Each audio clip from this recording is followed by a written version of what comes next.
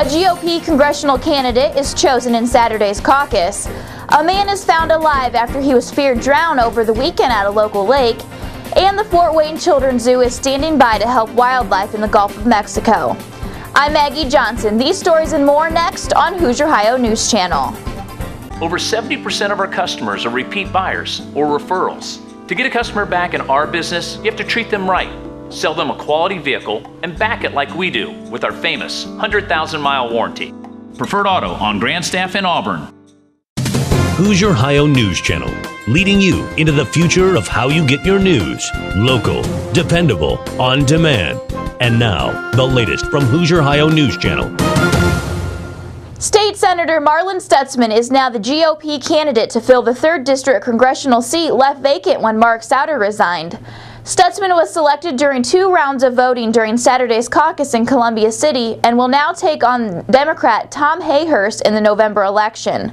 Senator Dennis Kruse, a caucus voter, said that he thinks Stutzman will make an excellent candidate and predicts a win for Stutzman in November. In a bizarre turn of events on Saturday evening at Jimmerson Lake, a man who was feared drowned turned up alive. Emergency responders were called out to the lake at about 9.30 that evening to answer a call of a possible missing boater when a passerby found a capsized kayak in the water. After a search of the lake and the shore, the unidentified man was found at his residence in what a DNR officer called a highly intoxicated state. He was later taken to Cameron Hospital to be checked out. The Fort Wayne Children's Zoo is ready to do whatever it can to help out the animals who are now in danger due to the oil spill in the Gulf of Mexico. Zoo veterinarian Joe Smith says staff members with bird and animal experience are ready at a moment's notice to help with wildlife recovery. Fort Wayne is one of 60 zoos around the country ready to take part in the relief efforts. The DeKalb High School Marching Band, the Baron Brigade, will be marching this Wednesday to raise money for students to participate in this year's band activities. According to the Star, the cost for each student to participate in band is about $350. The march will begin at Smith Acres Park around 1 p.m. on Wednesday with stops at Wesley Park Apartments, the DeKalb County Courthouse, the Ben Davis dealerships, and Eckhart Public Library before returning to the park.